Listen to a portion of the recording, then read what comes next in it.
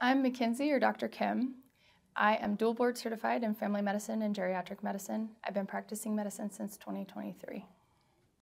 So I chose primary care for a variety of reasons. The first is that I've always loved teaching and I love being able to empower others with knowledge um, that, that primary care really offers to, to patients. Um, I love the relational component of care. I love being able to develop and to continue a relationship over years of practice.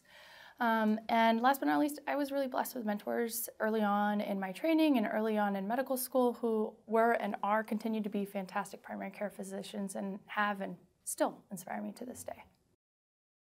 My goal is to partner with my patients. So you are integral to your wellness, and so I want you to feel comfortable and safe bringing what you think is necessary for you to achieve that.